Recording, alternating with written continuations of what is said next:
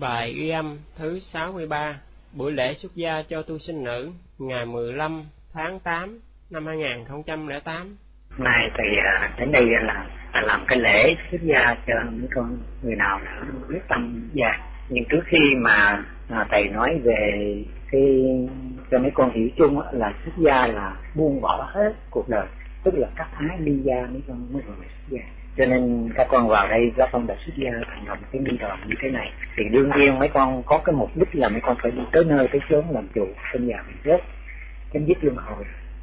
Cho nên đối với gia đình thì không còn cái dính mắt, dướng mắt gì, tất cả những gia đình của mình nữa. Vì mình phải cắt ái, ly gia lìa cái gia đình mình. Bây giờ chỉ còn lấy cái tu viện là làm cái nơi ở của mình, cái nơi cuối cùng của cuộc đời. Không còn phải trong gia đình. Cho nên coi như là đã xuất gia rồi thì chỉ còn có cái tu viện cái nơi tu tập đó là cái nơi cuối cùng của vụ một là mình chết hai là mình làm chủ sinh già bệnh chết chấm dứt luân hồi thường cái nơi đó. Mình không còn một cái người nào gọi là cái người thân của mình cả chỉ còn những người bạn đồng tu.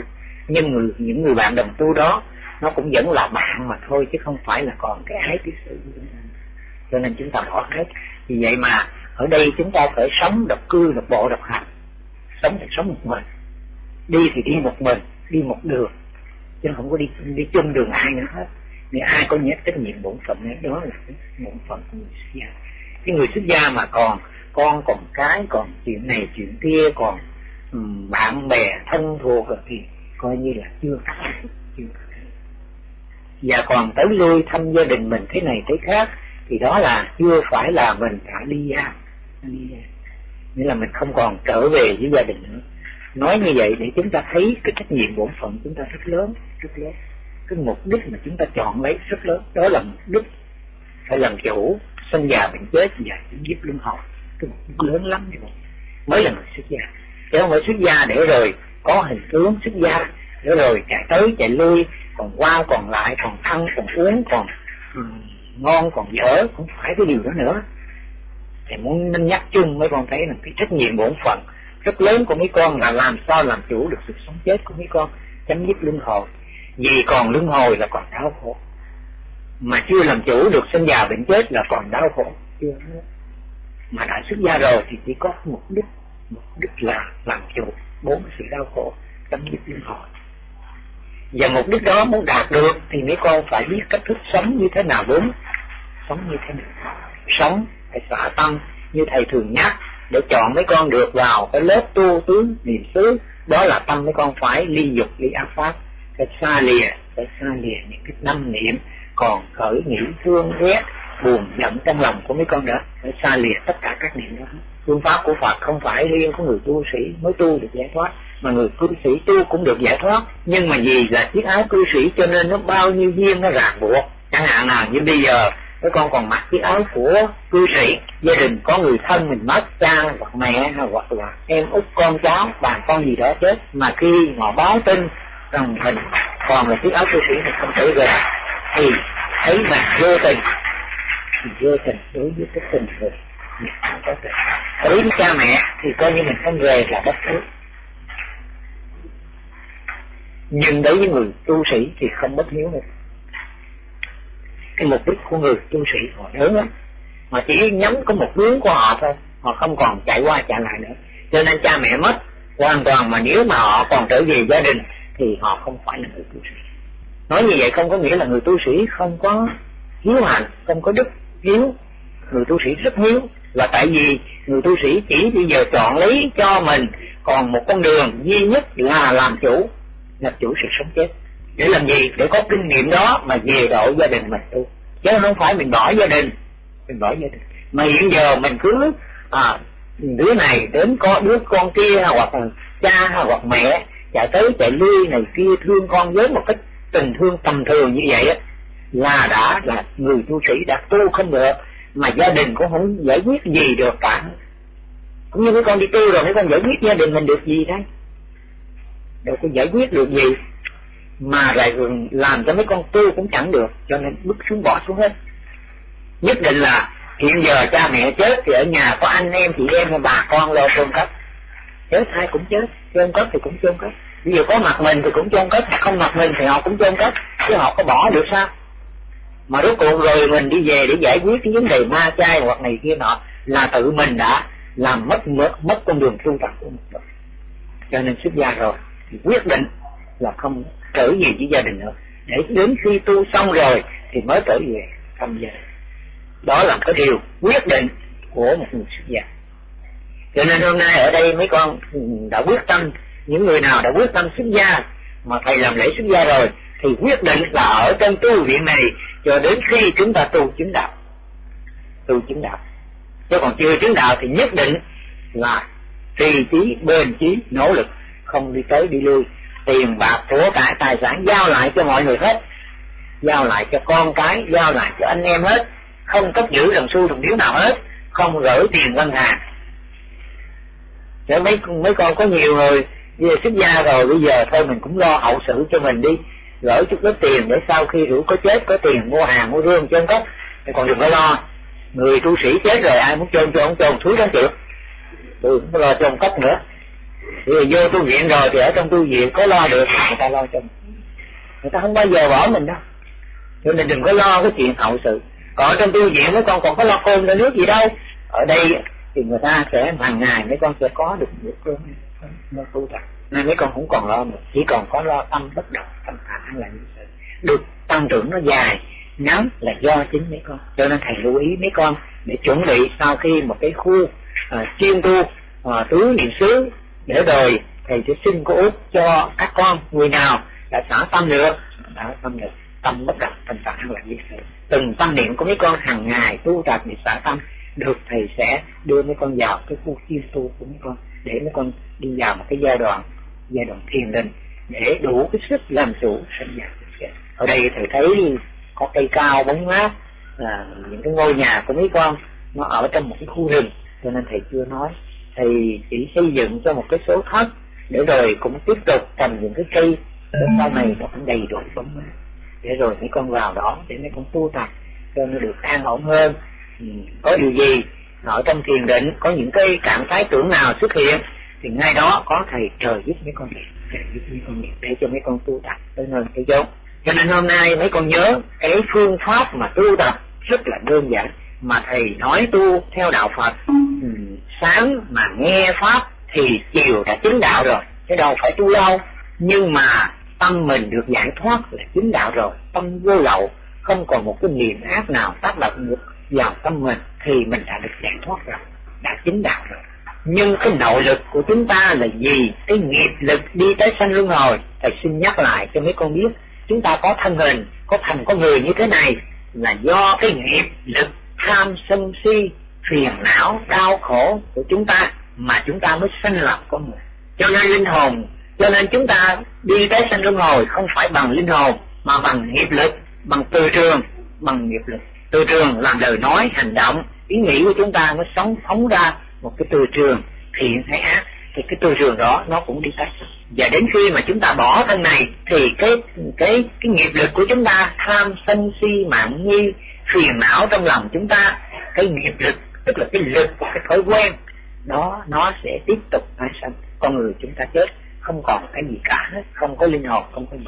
Cái nghiệp lực đó tiếp tục tái sanh. Cho nên hôm nay mà chúng ta ngộ được, giác ngộ được giáo pháp của Phật, chúng ta hiểu được, tâm chúng ta biết xả được, không còn để phiền não giận ngờ ai nói gì chúng ta cũng thấy tâm như cục đất. Đó là chúng ta đã giác ngộ, đã giải thoát rồi, đã chứng đạo rồi cho nên đức phật dài trong bài kinh đức phật dài sáng mà nghe pháp, chiều là chứng đạo. Nhưng mà chúng ta cứ nghĩ rằng mình chứng đạo để mà mình có nghe được tứ thần tốt, bốn cái lực như thần, thì tâm mình chưa thanh tịnh hoàn toàn. Nhưng chính ở đây là do cái tri kiến, ý thức của chúng ta hiểu biết, cho nên chúng ta thấy các pháp đều vô thường, không có pháp nào của ta. Cho nên không còn pháp nào làm cho tâm chúng ta bị động, làm cho tâm chúng ta bị tham muốn, tham lam, tức giận phiền não nữa thì đó là chúng ta đã chứng đạo chứng đạo ở chỗ chúng ta được giải thoát, được giải thoát cái tâm chúng ta. Và cái nghiệp lực của chúng ta, nó hoàn toàn, nó còn cái lực, cho nên nó chưa quét sạch toàn bộ tâm chúng ta, chưa thanh tịnh hoàn toàn. Cho nên chúng ta hàng ngày sống sống mà cứ xả cái tâm này, từng tâm niệm nó khởi lên, tức là cái nghiệp của nó, cái lực của nó nó khởi lên từng cái niệm.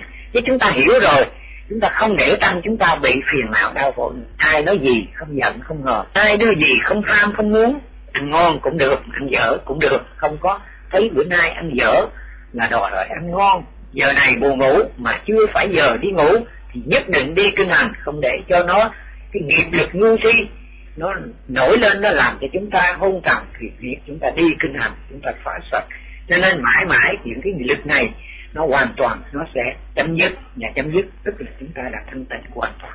Và thanh tịnh hoàn toàn thì nó phải có tướng thân tốt còn bây giờ chúng ta ngộ chúng ta đã chứng đạo. Chứng đạo thật sự là chúng ta không còn bị ác pháp tác động vào thân tâm, chúng ta tâm bất động, thanh tạng thầy nghĩ là chứng đạo của đạo Phật quá gì quá còn để tâm mà chúng ta thanh tịnh, cho nghiệp lực, diệt sạch hết cái nghiệp lực ở trong tâm của chúng ta, thì cái thời gian chúng ta quét quét nhanh, quét chậm là do nghiệp chúng ta ít hay nhiều có người thì nghiệp lực rất nhiều, rất dày, có người thì mạnh.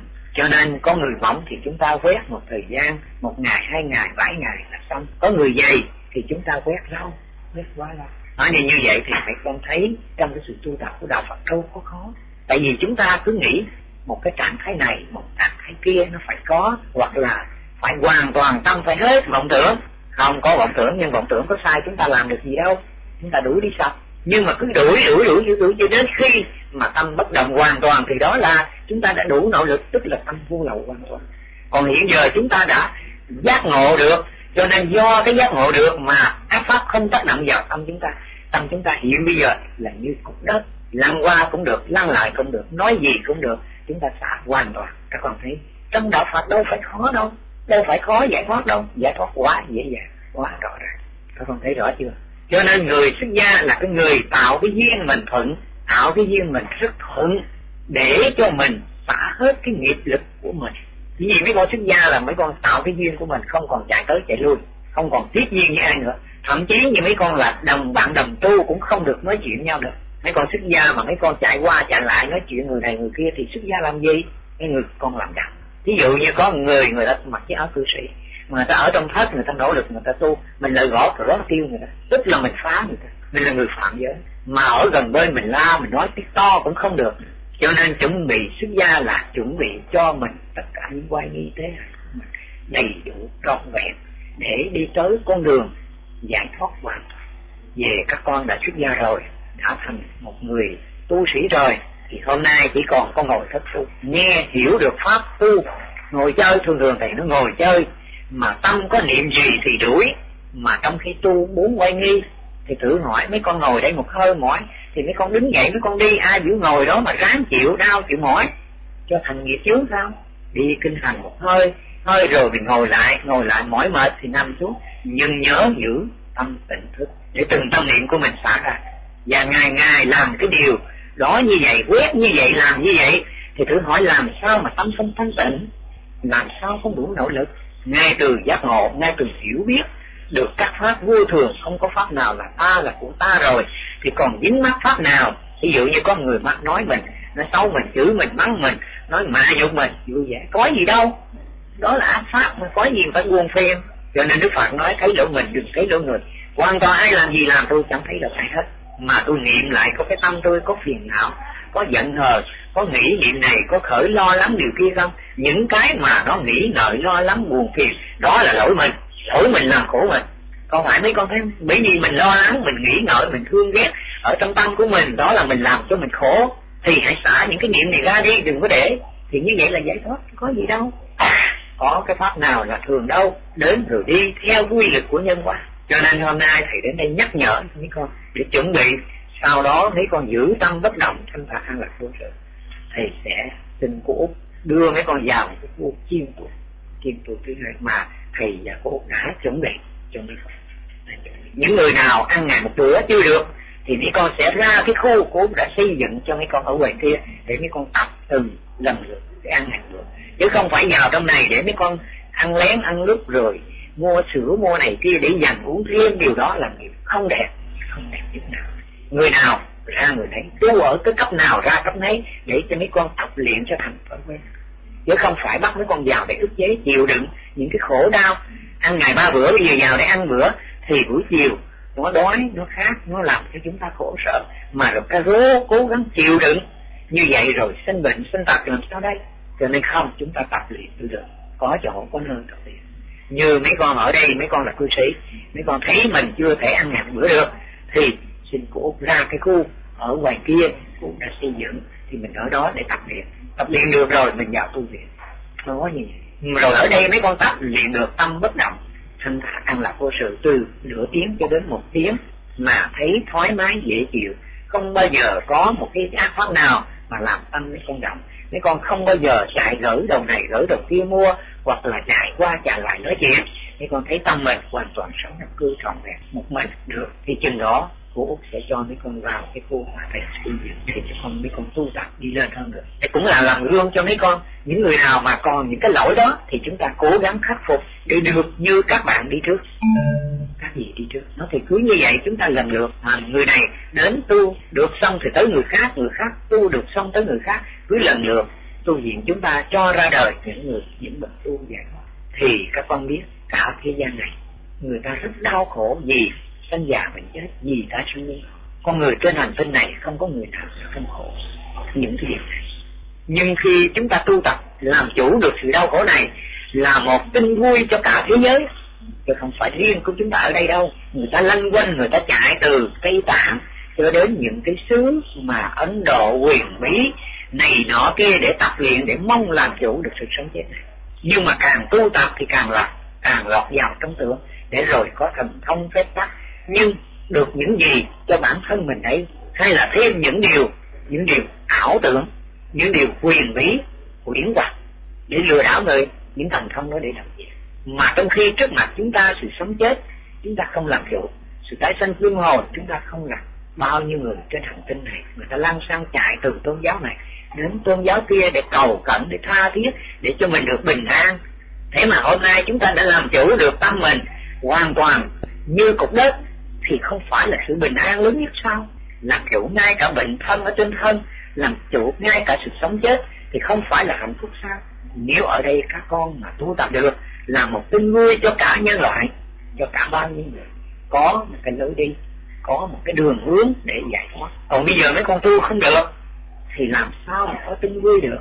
Cho nên rằng, không những giải thoát cho mình mà còn giải thoát cho mọi người còn giải thoát cho mọi người còn đem niềm tin cho mọi người để người ta thực hiện con đường tu cái thứ nhất là chúng ta không phụ ơn đức phật, không phụ ơn thầy. Chúng ta đã tu tập được là chúng ta đã đền đáp công ơn của người. Còn chúng ta tu tập không được thì chúng ta lấy gì mà đền đáp công ơn của người?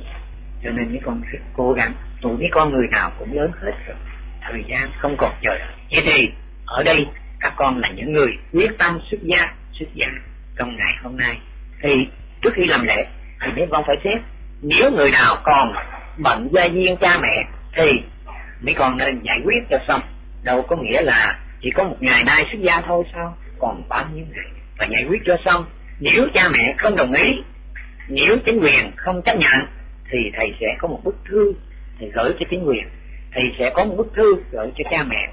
Nói cái lý do tu hành như thế nào để cho gia đình cảm thông, hiểu biết sự tu hành lợi ích gì để cho chính quyền thấy trách nhiệm của một người theo tôn giáo trong pháp luật của nhà nước, chứ không phải ngoài pháp luật của nhà nước. Tự do tín ngưỡng trong pháp luật, chứ không phải tự do tín ngưỡng ngoài pháp luật.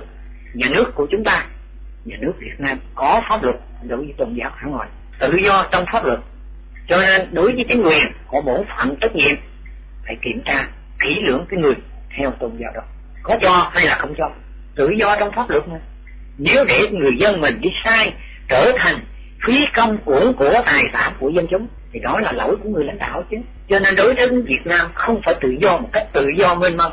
Nghĩa là người ta người ta theo một cái tôn giáo đó, rồi người ta tự tử cả láng cả đám đông chết một lần hàng đã thì thử hỏi một cái đất nước mà chính phủ cho tự do tín ngưỡng như vậy là các con nghe cái tôn giáo nào đó, nói thế giới, nói quả địa cầu này sắp sập ngoại diệt rồi.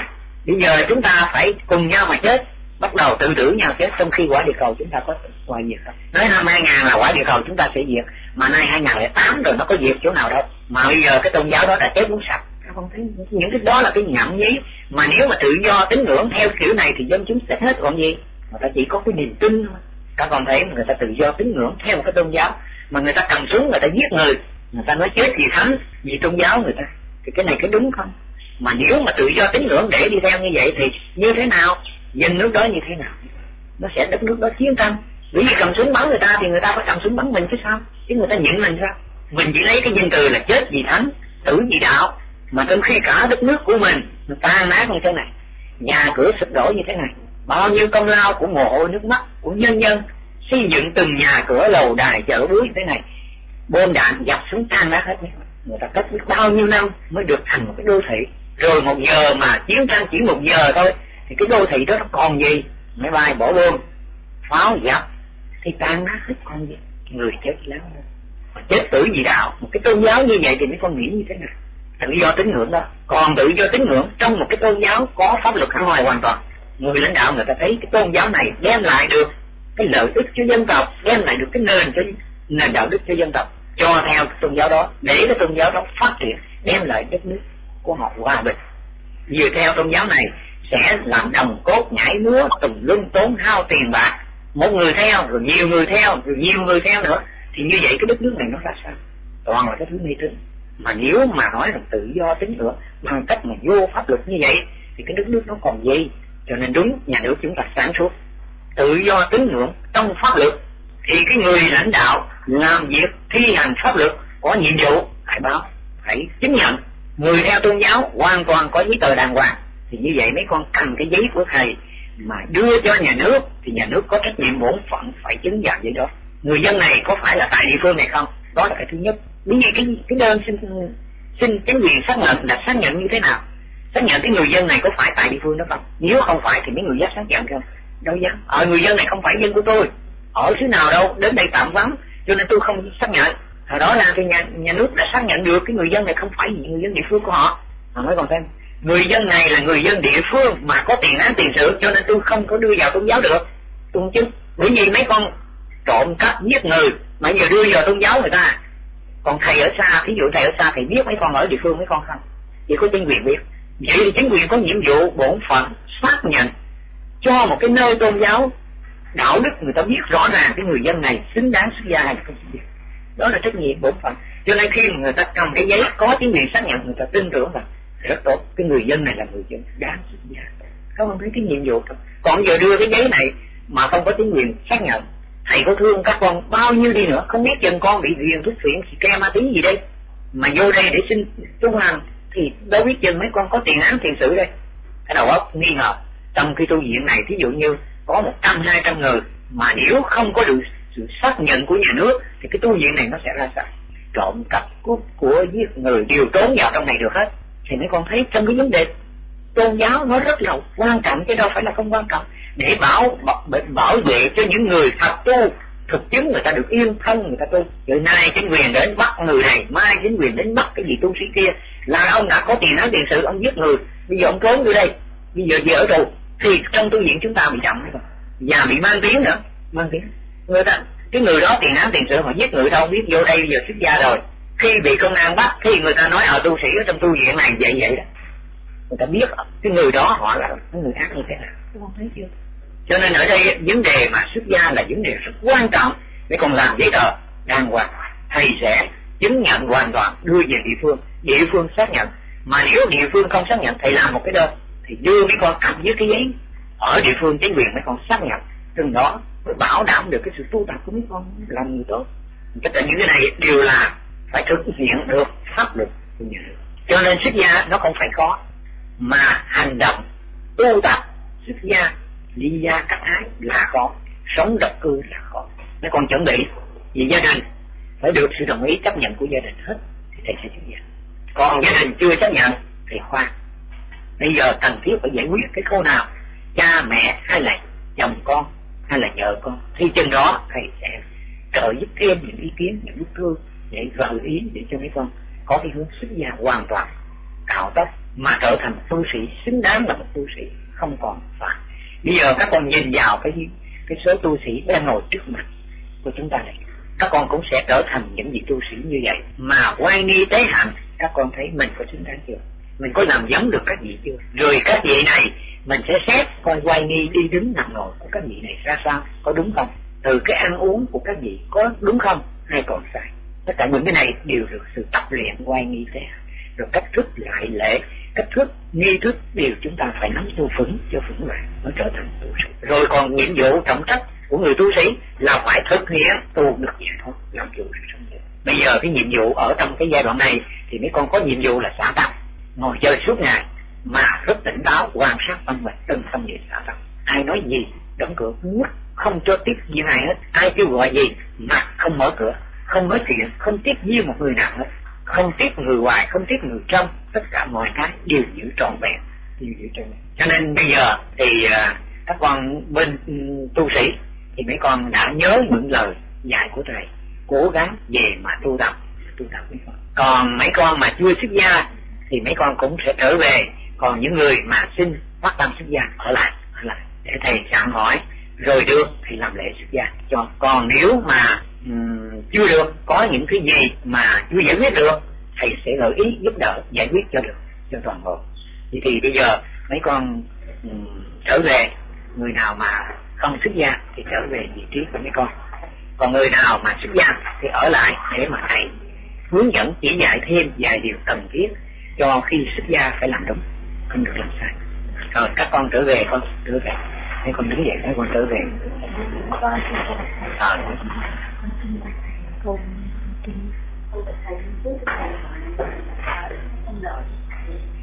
con được con con thì có pháp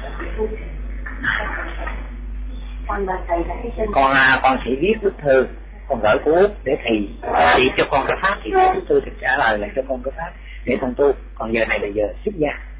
Xuất gia cho pháp dạ, này vâng rồi mấy con chào thầy rồi mấy con về. Còn lại mấy gì ở lại thôi. Nếu mà mấy mấy con xuất gia thì mấy con vô trong ghế này ngồi.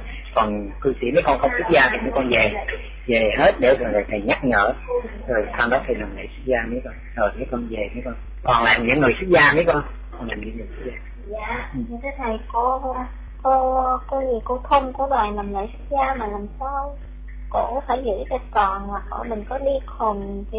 À phải rồi, phải rồi tất cả những cái người mà thường sinh đó thì rồi, rồi con cứ để đó thầy dạ. sẽ khuyên.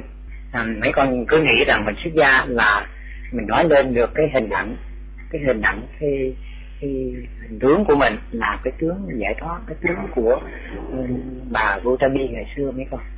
Đó là cái tướng giải thoát của đạo mà trong cơ thể mấy con người nào có bệnh thì mấy con sẽ phải trị bệnh cho hết bệnh thì mấy con có thể mới mới xuất gia mới được chứ còn xuất gia rồi mà còn bệnh đau như bên nam có mấy thầy mấy chú mà bị bệnh á thì bảo đi về trị bệnh hết. Rồi thầy sẽ làm lại xuất gia. À, cho sao? Chứ còn bây giờ mà xuất gia rồi mà bệnh đau thì mấy con làm sao mấy con sống được? Bởi vì bệnh đau rồi mấy con chưa có đủ sức. Rồi mấy con phải đi nhà thương này kia thì như vậy là đâu có được. Tu sĩ của thầy là khi xuất gia rồi là phải có sức khỏe trong cái thời gian phải tu tập để rồi nhất định là không đi được. Còn mấy con mà nếu chưa có đủ sức thì mấy con làm sao mấy con xuất gia rồi mấy con đi vào mấy con tu tập được. Cho nên mấy con có bệnh thì mấy con phải lo trị bệnh, điều trị bệnh. Và cái bệnh tâm thần, cái bệnh mà chúng ta à, không còn tỉnh táo, thì cái bệnh đó phải trị cho hẳn ngoài, trở về bình thường. Bắt đầu ở cái áo cư sĩ, chúng ta phải sử dụng pháp để đem lại cái tinh, cái thần kinh chúng ta cho nó trở về bình thường. Nó không còn có cái nó bậy nó bạ. Chứ một người tu sĩ đi ra nó bậy nó bạ quơ tay múa chân rồi người ta đánh giá trị hết cả tu sĩ chúng ta bởi vì cái hình ảnh đó là hình ảnh của đức phật. Tất cả những cái này là cái quan trọng rất khó, chứ không phải dễ, không phải dễ. Cho nên, thứ nhất là chúng ta quý xuất gia là chúng ta chỉ còn có một hướng đi tới, một là chết, hai là chính đạo. Chứ không còn có trở về gia đình, cha mẹ gì nữa hết. Hoàn toàn cắt ái, các con nghe nói xuất gia là cắt ái ly gia mà cắt ái tức là cắt hết những cái tình thương lý gia là lìa gia đình, chỉ còn lấy cái chùa là làm cái nơi tu hành giải thoát của mình. Chứ không có còn có mà cái vấn đề mà trở đi trở lại, trở về thăm gia đình, ở trong gia đình của mình thì không được. Thầy không chấp nhận một người xuất gia mà sống ở trong gia đình. Tại sao vậy? Tại vì cái cái ái, cái sự nó còn ràng rịch đó, thì làm sao mà cắt ái? Cho nên khi đó mình xuất gia rồi, chỉ còn có lấy tu viện, lấy cái chùa làm cái nơi tu hành của mình, làm cái cái nhà của mình thôi chứ còn không còn cũng như bây giờ mấy con vào đây, tuy rằng mấy con thấy xuất gia là có bạn bè cái gì. Nhưng ở đây hoàn toàn sống độc cư, coi như là mình sống có một mình mình thôi. Cái thấp của mấy con là cái nơi cuối cùng của mấy con. Rồi từ cái thất này nó cũng phải là cái chỗ, cái thất đó là cái nhà của các con nữa, mà là các con sẽ được di chuyển từ cái nhà này đến cái nhà khác khi cái trình độ tu tập mấy con nó tới cái mức nào người ta sẽ đưa. Chẳng hạn nào bây giờ mấy con sống ngàn một giới ăn ngàn bữa không được người ta sẽ đưa mấy con đi vào cái khu để tập luyện ăn ngàn bữa để tập luyện phá những hôn trầm trì miên à, những cái điều đó là những cái điều cái người mới tu tập. Không làm chủ cái ăn cái ngủ thì đi tới nữa làm chủ được cái gì? Sau khi ăn ngủ mấy con được làm chủ được rồi người ta đưa vào cái khu chuyên tu để xả tâm vì tâm niệm mình, tất cả pháp tác động vào tâm mình hướng dẫn mình. Từ đó cái tâm mình bất động, thanh tạng là vô sự người ta hướng dẫn cho mình, bây giờ thấy gia đình của mình tới lui, động làm động mình, thế này thế khác. Người ta khuyên mình nên xuất gia, để gia đình mình, để những người thân mình, đừng có quậy khóa mình nữa, để cho mình yên tu tức là mấy con mặc cái áo cư sĩ, người ta thấy mấy con bị gia đình làm động mấy con bị những người khác làm động vì chiếc áo cư sĩ nó còn rộng rãi lắm. Người ta sẽ làm động mấy con này. Cho nên buộc lòng mấy con phải xuất gia. Mà khi mà người ta cho xuất gia rồi thì mấy con còn sống độc cư độc bộ độc lập độc cư ở có một mình. Độc bộ đi cũng có một, đi một đường mình không đi được khác. Độc lập đi có một mình không đi với ai nữa. Nghĩa là con đường của mình nhắm tới cái mục đích làm chủ sự sống chết chấm dứt con đường của mình chỉ có đường gì nhất đó mọi người tu cũng đều nhắm vào cái mục đích đó, nhưng mọi người phải đi riêng, không có được ai đi chung nhau. Không có hai người cùng đi nhau để nhắm mục đích đó. Tôi sinh ra có nghiệp lực của tôi. Nghiệp lực đó nặng hay là dày hay mỏng, tôi do đó mà tôi tu nhanh hay tu chậm còn nghiệp lực của các gì dày hay mỏng là do các gì cho nên các gì dày thì các gì phải tu theo kiểu dày, mỏng phải tu theo kiểu làm sao mà hai người cùng đi nhau một đường được? Mặc dù cái mục đích là giải thoát sinh tử nhưng phải như vậy cho nên bây giờ mấy con đã sắp xếp được gia đình của mình cha mẹ chấp nhận gia đình chấp nhận cho mình xuất gia rồi chính quyền chấp nhận cho mình xuất gia à, bằng chứng mình phải làm giấy tờ đàng hoàng và đồng thời nếu mà chính quyền chưa chấp nhận ý nguyện của mình xuất gia mình cái người có tự do tự do cái đời sống tự do trong cái cuộc sống của mình. Mình muốn theo tôn giáo nào đó là cái quyền của mình. Nhưng nhà nước có bổn phận trợ giúp theo đúng hay sai người ta nói cho mình biết do đó nhà nước ký tên chứng nhận để làm một cái niềm tin cho tu viện, cho những người ở trong tu viện nhận cho nên xuất gia mấy con phải chuẩn bị tất cả những cái rốt ráo gia đình, rồi mặt xã hội. Cho rốt ráo hết, thì lúc bây giờ vào xuất gia để cho mấy con yên tâm mà không còn lo, không còn lo lắng điều gì nữa. Chỉ lo một đường thì tới mà thôi. Không còn lo phật tử cúng dường, không còn lo phật tử thế này thế khác. Mình nỗ lực, mình tu để được giải thoát. Mà giải thoát mình được gặp một niềm tin, là một cái niềm tin vui cho cả thế giới cái không riêng gì những phật tử, những gia đình của mình, mà cả mọi người mình tu tập. Con đường này là con đường tu tập được, chứ không phải không tu tập. Được. nhưng chuẩn bị cho chúng ta sẵn sàng tất cả tư thế để chúng ta tiến bước một cách dễ dàng. Không khéo nó khó khăn vô xuất gia rồi, mấy con chạy tới chạy lui, tiếp viên này này, người ta đánh giá trị người tu sĩ. Mà người ta đánh giá trị người tu sĩ như vậy là người ta sẽ đánh giá trị của tu viện. Và người ta sẽ thấy là người tu sĩ Phật giáo nó như vậy trong một cái cuộc tổ chức cái giới đàn của Tây Ninh. Thầy về tham dự làm chứng minh cho cái giới đàn. Hàng ngàn tu sĩ ở các tỉnh về đó rất đông. Nhưng mà từ một cái vị mà tổ chức cái giới đàn một vị hòa thượng tổ chức giới đàn. cho đến những tăng sinh đến đây sinh hoạt đều ăn ba bữa. Rồi trong cái hàng rào như hàng rào mình chùa vậy ở ngoài kia là cái đường ngoài kia là quán nước họ bán mình. Tu sĩ mình không có ra khỏi cái hàng rào đó. Thì ở trong này quắt ở ngoài kia để họ đem bánh trái đến mua ăn thêm thầy đến thầy tham dự vào cái giới đàn thật sự ra cái chùa cái giới đàn cũng rộng lắm. Cả ngàn người mà coi như là một ngàn mấy trăm người trên đó cái đâu tu sĩ toàn là tu sĩ. Mà phạm giới như vậy đó là những cái điều kiện đứng ở trong rào còn mua. Còn một số nữa đi ra cổng cửa rồi đi la, la cà ngoài đường phố mua cái này mua cái kia. Mà chẳng hề có ai nói ai gì.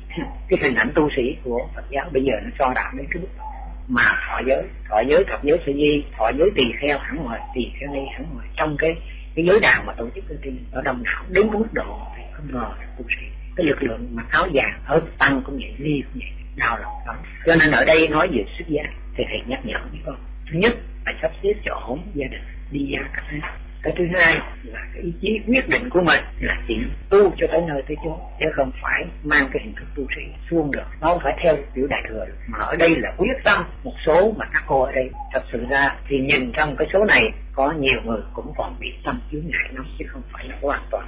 Nhưng có số người ta biết xài là cái chiêu về còn một số thì cũng còn riêng rút vào trong tâm của mình, hoặc là nói của người này, hoặc lời nói của người kia chịu không được còn cái số của cư sĩ của các con, thật sự cư sĩ mà hiện muốn xuất gia phải tâm như cái chợ, mấy con chuyện này hết tới chuyện kia. Mấy con có dẹp được không? Phải nỗ lực thật sự thì thầy sẽ xuất gia cho. Vậy thì hôm nay tất cả những điều mà thầy nói thì mấy con người nào mà quý xuất gia gia đình mình hẳn ngoài hoàn toàn. Còn như gì thì mấy con phải cố gắng để về giải quyết gia đình. Cũng như hồi nãy, bên tắc bên nam, thì có một số người còn duyên gia đình chưa ổn, cũng muốn xuất gia thì bảo vệ giải quyết. Xong rồi để mình xuất gia. Còn những người nào mà có đủ duyên để mình xuất gia, thì thì các con hãy cố gắng tập tập trong vòng hai tháng nữa, quay nghi tế hạnh, thầy sẽ đến thầy dạy từng chút. Để sau khi cạo tóc, mặc y áo dính y áo lên, thì quay nghi tế hạnh chúng ta.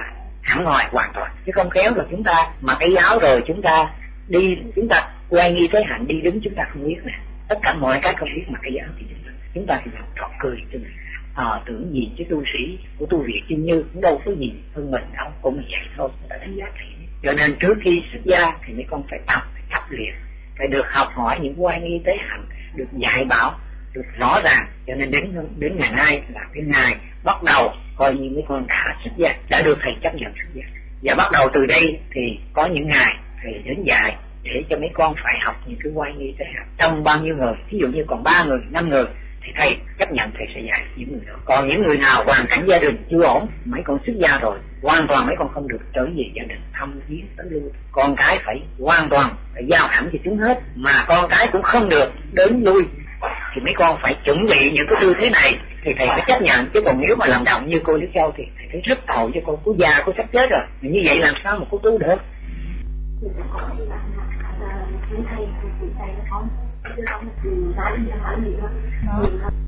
Và không mình đó lại thì sẽ thể nha nữa hoặc là khi là ổ con nha từ việc việc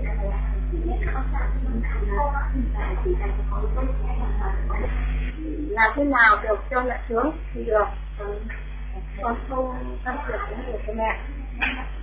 Ừ, vậy thì à, hoàn cảnh gia đình thì tốt rồi nhưng mà con có tham nhẫn đủ cái sức ngọt cái sức rồi con sẽ hoàn toàn con sống được cư trọn vẹn không có tính lưu ngày người kia không có nói chuyện ai con sống nổi được cư dạ điều đó con có thể con làm được à, rồi à, trong khi mà xuất gia rồi nó có nhiều cái là nhất là cái hành động cư coi như là tối ngày mình sống của mình mình không nói chuyện gì thì con có thể chịu nổi không? Dạ, không có. Thì à, bây giờ trong cái thời gian để thử thách để thử thách các con thì ít ra thì thầy sẽ cho người theo dõi. Theo dõi cái thử thách của mấy con. Thì từ đây bắt đầu từ đây coi như là mấy con đã xuất gia rồi. Từ đây mấy con sẽ sống độc cư trọn vẹn ở trong thất mấy con không được đi tới đi lưu được chuyện này chuyện kia. Nghĩa là suốt cái thời gian hai tháng mà mọi người người ta xem xét thấy được thì người ta à, nếu mà các con lỗi á, thì thầy không chấp nhận. Gì còn mấy con không lỗi mấy con sống trọn vẹn được cơ giữ gìn mắt tay của việc suy nghĩ của mình trọn vẹn. Nỗ lực một tâm huyết tu hành giải thoát. Khi mà thầy cho xuất gia cạo tóc mấy con xong rồi thì mấy con phải sống đúng cái hạnh thì mới xứng đáng gặp với người xuất gia. Phải không?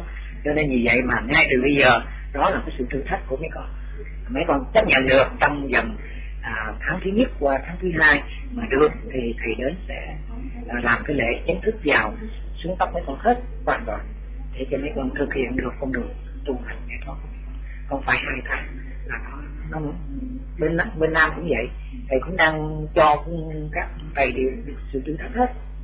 Thì thế hết chứ không phải là muốn xuất gia là làm cái lễ đại rồi cho mấy con từ từng đó mấy con phạm những cái lỗi làm của mấy con rồi những cái này kia làm sao bởi vì cái, cái, cái thói quen của mấy con nó còn rồi. Mà nếu không thử thách thì nó bộc lộ ra làm sao? Làm sao thì không khi đó mấy con mặc áo mặc y này kia mà thu hồi cái y áo của mấy con thì nó dễ rồi đó. Nhưng mà có cái điều kiện là mang tiếng là sao thu hồi được. Mang tiếng cho tu sĩ của Phật giáo ở đây nó mang tiếng là cái ni đòn ở đây. Xuất gia là những người tu sĩ đó đi nói chuyện đi giảng đi này kia đủ thứ tùm lum tà la hết thì nó mang tiếng là sao con hiểu điều đó chưa? Cho nên bây giờ được thì cho phép. Nhưng mà có cái điều kiện là sau hai tháng sự thật ở đây thì mọi người người ta để à, xem xét thì em mấy con sẽ xem xét người nào ai nói chuyện. Thì mấy con khi mà mấy con đã xuất gia đã quyết xuất gia thì thôi thành phật thôi không có nói dối không có che đậy được. Mà che đậy thầy sao được? Mấy con không che đậy. À, cho nên vì vậy đó suốt trong hai tháng thì hôm nay là cái ngày mà thầy về đây để mà truyền giới xuất gia cho mấy con chấp nhận cho mấy con. Nhưng mà cái lễ cái nghi thức mà làm lễ xuất gia thì chưa nhưng mà thầy đã chấp nhận cho mấy con xuất gia. Nhưng mà trước khi mà làm cái lễ đi nghi thức mà xuất gia làm cái lễ thì mấy con phải là con người. Được hoàn toàn thân thật. Được chấp nhận những cái giới luật và từ trong hai tháng này thì có dịp thầy sẽ về dạy quay đi thế hành đi đứng nằm ngồi đó thì mấy con thấy khi mấy cô đi một cái đoàn đi ra cấp thực đây trước mắt đâu có nhưng mà khi mà đi về đi đó, thì rất là quay nghi nhưng mà về thì mấy con thấy có nhiều người cô dội vàng đi phải đã rồi cái quay nhi đã được không? Nói là mấy cô ở đây đã tập luyện rồi đó. Mà trước mắt mấy con ngồi đây rõ ràng khi đi ở trong cái đoàn đi cấp thực đi ra, thì các con phải đi chậm chậm từ từ. Mà khi cấp thực rồi đi về, thì ai về thất mấy ăn cái gì? Thì lập đặt gì mà đi giữ dạy bộ đói bụng lắm sao? Nói con thấy như vậy là đúng chưa? Thầy đâu chấp nhận với con. Ngồi đây thầy chỉ trước mắt của mấy con thôi từ từ mình cũng đi như hồi mình đi khất thực cùng trong đoàn. Đi về cũng từ từ ai hút thuốc đổ rồi? Bây giờ bụng đói là thuốc đổ làm cho mình đi nhanh sao? Cho nên cái thói quen nó rất khó. Cho nên vì vậy mà lắm à, con thử về đi. Rồi. Như vậy là từ đây về sau rồi còn riêng con Lâm con sẽ xuất gia mà con ôm vác con đi khất thực được không? Có đi được không? À con cứ nói đi con cứ ngồi tại chỗ nói đi. À, thầy hỏi để mà thầy biết để sau khi đó à, khi mà mình đi vào bởi cái nhi đoàn của mình có cái cái nhi đoàn của mình mà cái nhi đoàn thứ hai của mình thứ nhất là mấy cô đó thứ hai là tới cái nhi đoàn của mấy con sao thì do đó thì mấy con sẽ đi khất thực đàng hoàng con cũng dính y cũng như mấy cô chứ. Xuất gia rộn lẽ mặc chiếc áo thôi sao? Có phải không? Ừ, thì mấy con phải ôm bát rồi đàng hoàng cũng đi mang bát đi khất thực đàng hoàng nhưng mà con đi được không? Đi không khơm cũng được. Thầy bông đâu bảo con đi thẳng. Nhưng mà đi được không con? Dạ, đi được không? À vậy tốt rồi. Để rồi ráng mà tập. Ờ, thầy sẽ lần lượt thầy dạy mày con. À, con. Ừ, thầy sẽ dạy cái thứ. À, có bố và cô lấy cây cô kèm cho con. Đứng như đi nói chưa con cái tật rồi thôi con, từ từ, không sao đâu. Con gái thì con thôi thầy thấy vậy tôi làm đến tuổi rồi, con phải đánh tới không tiếp gì thì chấp nhận. Và đồng thời thầy thấy con có cái quyết tâm là không tiếp duyên như những đứa con. Thì cái điều đó là điều nó lớn rồi, chứ không phải nó còn nít nữa đâu. Vì nó phải lo cái bổn phận của nó. Còn con là bây giờ cái tuổi đời nó quá lớn rồi, nó không còn bao lâu nữa mà không nỗ lực để giữ tâm bất động thì đi sâu làm sao đâu đi sâu được con ừ. nên thầy chấp nhận cho con. Yên tâm đi, con lo tôi cứu vậy con. Con sẽ ở trong cái đó đi. Cái coi như là con đóng thất được con bỏ con để chờ cho cái duyên nó về rồi, thì con sẽ sinh vào bình thường. Sau này thầy sẽ nói thuốc út luôn. Khi mà cái khu ở bên kia xong rồi, thầy sẽ nói út cho những con nhỏ trong cái gì đó. Nhớ xả tầm cho rốt ráo mới được đi qua cái dạng kia. Chứ không kéo qua đó thì coi như là nó cứ trọn vẹn một trăm phần trăm là ức chế. Còn mình xả tâm hoàn toàn cái con kéo nó sai là một chút là nó cũng không được khó lắm. Phải ráng ở trong này nỗ lực nhập thắt cơn dài ba hôm để rồi coi cho nó yên tĩnh được. Rồi nhớ ở trong tất thì nhớ rồi bây giờ xong rồi đó tại vì thầy đem đi về thì làm lễ cho mấy con. Nhưng mà để thử thách mấy con rồi phải làm lễ đàng hoàng. Một tu sĩ của thầy là một hộp lò cọ chứ không có cọ lét được nữa. Yên tâm nhé. Thầy sẽ chấp nhận mà thầy sẽ làm lễ quy y cho mấy con là đệ tử của thầy. Cho nên phải tu tới nơi tới chốn con à, rồi bây giờ mấy con trở về. Đâu không trước